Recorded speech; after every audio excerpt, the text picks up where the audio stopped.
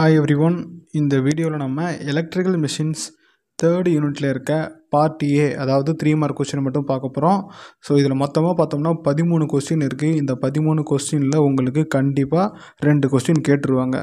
So இதனால் இந்த பதிமூணு கொஸ்டின் மட்டும் நீங்கள் படித்தா போதும். கண்டிப்பாக ஒரு ஆறு மார்க்கை எழுதிடலாம். ஸோ இப்போ தான் நீங்கள் நம்ம சேனலை பார்க்குறீங்கன்னா இதுக்கு முன்னாடி எலக்ட்ரிக்கல் மிஷின்ஸோட யூனிட் டூ ஒன்று யூனிட் டூவோட த்ரீ மார்க் போட்டிருக்கோம். அதுக்கு முன்னாடி எலக்ட்ரிக்கல் மிஷின்ஸ் எக்ஸாமுக்கான எக்ஸ்பெக்டட் ஃபோர்டீன் மார்க் கொஸ்டின் சொல்லிட்டு ஒரு வீடியோ போட்டிருக்கோம். இப்போ நம்ம இந்த தேர்ட் யூனிட்டில் இருக்க த்ரீ மார்க் கொஸ்டினை ஒன்று ஒன்றா பார்ப்போம். ஸோ ஃபஸ்ட்டு கொஸ்டின் பார்த்தோம்னா principle of three phase induction மோட்டர்னு சொல்லிட்டு கேட்பாங்க. இதுக்கான ஆன்சர் என்னன்னு சொல்லிட்டு பார்த்தோம்னா three phase induction motor electro magnetic induction பிரின்சிபலில் work ஆகுதுன்னு சொல்லிட்டு எழுத வேண்டியது தான் இந்த three phase induction motor work on electro magnetic induction பிரின்சிபல்னு சொல்லிட்டு எழுதி முடிச்சிக்க வேண்டியது தான் அடுத்ததாக second question types of three phase induction மோட்டார்னு கேட்பாங்க. இல்லைனா types of three phase induction ரோட்டார்னு கேட்பாங்க.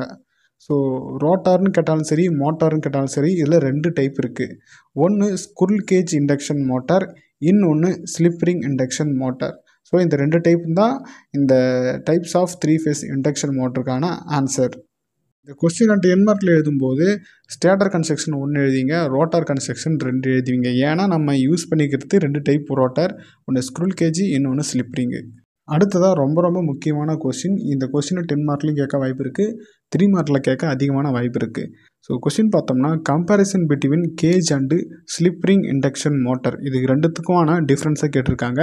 ஸோ டேபிள் போட்டுட்டு என்னென்ன squirrel cage induction motor right சைடில் ஸ்லிப்ரிங் இண்டக்ஷன் மோட்டர்னு போட்டுக்கணும். ஸோ ஃபஸ்ட்டு பாயிண்ட் பார்த்தோம்னா ஸ்க்ரூல் கேஜ் இண்டக்ஷன் மோட்டரோட ரோட்டார் வந்து சிம்பிளாக இருக்கும். அதோட கன்ஸ்ட்ரக்ஷன் இதுவே ஸ்லிப்ரிங் இண்டக்ஷன் மோட்டரோட ரோட்டார் பார்த்தோம்னா வவுன் டைப்பாக இருக்கும். ஸோ அடுத்தது ரெண்டாவது பாயிண்ட்டு ஸ்குரில் கேஜ் இண்டக்ஷன் மோட்டரோட ரோட்டர் பார்த்தோம்னா அலுமினியம் இல்லை காப்பர் பாலா பாரால் செஞ்சுருப்பாங்க. இதுவே ஸ்லிப்பரிங் இண்டக்ஷன் மோட்டரில் பார்த்தோம்னா அதில் இருக்க ரோட்டர் வந்து எனாமல்டு காப்பர் ஒயரால் வந்து செஞ்சுருப்பாங்க. So third point squirrel cage induction மோட்டரோட rate வந்து கம்மியாக இருக்கும். இதுவே ஸ்லிப்பரிங் இண்டக்ஷன் மோட்டரோட ரேட் அதிகமாக இருக்கும். So fourth point squirrel cage induction மோட்டரோட efficiency வந்து அதிகமாக இருக்கும். இதுவே ஸ்லிப்பரிங் இண்டக்ஷன் மோட்டரோட எஃபிஷியன்சி வந்து கம்மியாக இருக்கும். ஃபிஃப்த்து பாயிண்ட்டு ரோட்டரை வந்து ஈஸியாக நம்ம மெயின்டைன் பண்ணலாம். இதுவே ஸ்லிப்பிங் இண்டக்ஷன் மோட்டரோட ரோட்டரை வந்து மெயின்டைன் பண்ணுறது கொஞ்சம் கஷ்டமாக இருக்கும். த்ரீ மார்க் கொஸ்டின் கேட்கும்போது ஒரு நாலு பாயிண்ட் நம்ம கரெக்டாக எதனா போதும். இதே டென் மார்க் கேட்டாங்கன்னா கண்டிப்பாக நம்ம ஒம்பது டு பத்து பாயிண்ட் வரைக்கும் எதுனா தான் நம்மளுக்கு ஃபுல் மார்க் கிடைக்க சான்ஸ் இருக்குது next fourth question very very important question define slip so slip equal to NS minus NR divide by NS into hundred இதில் என்எஸ்ன்றது மோட்டரோட சிங்க்ரனஸ் ஸ்பீடு என்ஆர்ன்றது மோட்டரோட ஆக்சுவல் ஸ்பீட் இது எழுதி முடிச்சுட்டு நம்ம ஃபார்முலாவுக்கு பாக்ஸ் போட்டு முடிச்ச பிறகு நம்ம தேரி எழுதணும். சிங்க்ரனஸ் மோட்டர் என்எஸுக்கும் ஆக்சுவல் ரோட்டார் ஸ்பீடு என்ஆருக்கும் இடையே உள்ள விகிதம் ஸ்லிப் எனப்படும். ஸோ இதில் பர்சன்டேஜில் கேட்கும்போது நம்ம இன்ட்டு ஹண்ட்ரட் போட்டுக்க வேண்டியதான் அடுத்ததாக fifth question slip torque characteristics கேட்பாங்க இண்டக்ஷன் மோட்டருக்கு ஸோ நம்ம ஃபார்முலா மட்டும் எழுதினா போதும். T equal to K phi S E two R two divided by X two square plus S X two whole square so இது எழுதி நம்ம பாக்ஸ் போட்டணும் அதுக்கப்புறம் இதில் பைனா ஃப்ளக்ஸு எஸ்னா ஸ்லிப்பு இ டூனா rotor induced EMF per coil R டூனா rotor resistance per phase X டூனா rotor reactance per phase கேனா கான்ஸ்டன்ட் ஸோ இது எழுதி முடித்தாலே போதுமானது. Next sixth question types of test conducted in three phase induction motor so circle டயக்ராமை use பண்ணி நம்ம three phase induction மோட்டரில் என்னென்ன டெஸ்ட்டு கண்டுபிடிக்கலாம்னு சொல்லிட்டு பார்த்தோம்னா அதுக்கு மூணு டைப் இருக்குது so first test no load test ரெண்டாவது பிளாக் ரோட்டார் டெஸ்ட்டு மூணாவது ஸ்டேட்டரோட ரெசிஸ்டன்ஸை கண்டுபிடிக்கிறதுக்காக ட்ராப் டெஸ்ட்டு இது மூணு டெஸ்ட்டும் நம்ம வந்து சர்க்கிள் டயக்ராம் வச்சு ஒரு த்ரீ ஃபேஸ் இண்டக்ஷன் மோட்டரில் டெஸ்ட்டை வச்சு கண்டுபிடிக்கலாம். Next seventh question very very important question speed control of three phase induction motor so three phase induction மோட்டரை எந்தெந்த மெத்தட் யூஸ் பண்ணி ஸ்பீடு கண்ட்ரோல் பண்ணுறாங்கிறது தான் இதோட கொஸ்டின் இது நம்ம தனியாக நம்ம சேனலில் ஒரு டெடிக்கேட்டடாக ஒரு வீடியோ பண்ணியிருக்கோம். இந்த கொஸ்டின் வந்து ஃபோர்டீன் மார்க் கொஸ்டினில் கூட கேட்க வாய்ப்பு இருக்குது ஸோ ஃபோர்டின் மார்க்கில் கேட்டால் நம்ம ஒவ்வொரு டைப்புக்கும் எக்ஸ்பிளனேஷன் கொடுக்கணும். இதுவே வந்து த்ரீ மார்க் கேட்டால் நம்ம எதனா ஒரு நாலு டைப் எதுனா போதும்.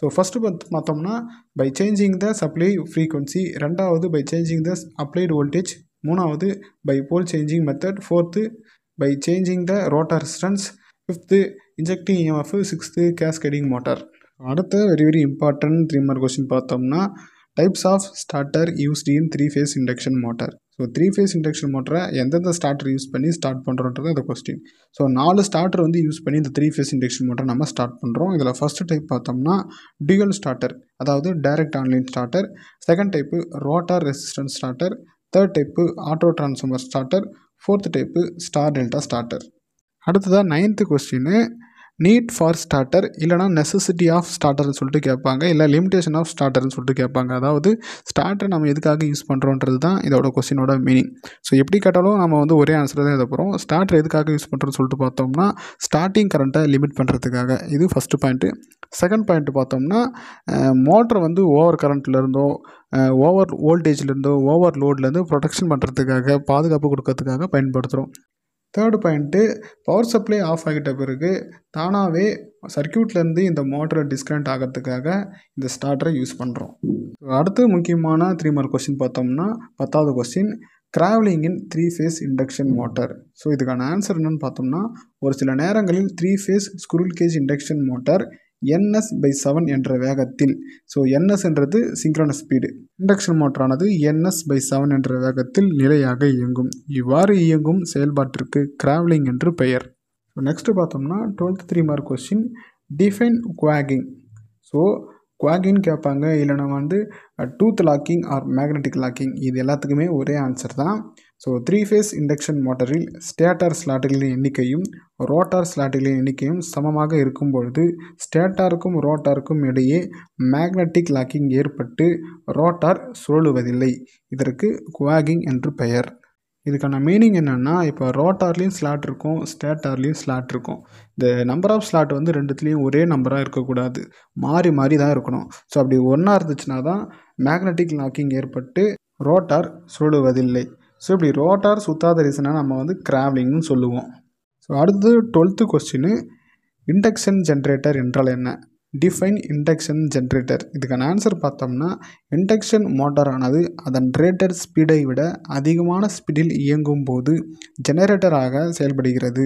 ஸோ இந்த செயல்பாட்டிற்கு இண்டக்ஷன் ஜெனரேட்டர் என்று பெயர். அடுத்த முக்கியமான கொஸ்டின் பார்த்தோம்னா last question thirteenth question application of three phase induction motor இந்த த்ரீ ஃபேஸ் இண்டக்ஷன் மோட்டரை நம்ம பெரும்பாலுமா எங்கே பயன்படுத்துகிறோம் சொல்லிட்டு பார்த்தோம்னா வாட்டர் பம்பில் வந்து பயன்படுத்துகிறோம் கியண்டர்களில் பயன்படுத்தப்படுகிறது. லேத் மிஷின்கள் பிரிண்டிங் மிஷின் ட்ரில்லிங் மிஷின் இது போல் எக்யூப்மெண்ட்டுக்கு வந்து யூஸ் பண்ணியிருக்காங்க இப்போ நம்ம சொல்லி முடிச்சது எல்லாமே வந்து squirrel cage type three phase induction motor இதுவே ஸ்லிப்பரிங் இண்டக்ஷன் மோட்டர் எங்கெங்கே யூஸ் பண்ணுறாங்கன்னு சொல்லிட்டு பார்த்தோம்னா lift hoist elevator crane compressor இது போல் பெரிய பெரிய ஆப்ரேஷனுக்காக இந்த ஸ்லிப்பரிங் இண்டக்ஷன் மோட்டரை யூஸ் பண்ணுறாங்க வீடியோட ரெண்டுக்கு வந்தாச்சு. இந்த யூனிட்டில் நம்ம மொத்தம் பதிமூணு கொஸ்டின் கொடுத்துருக்கோம்.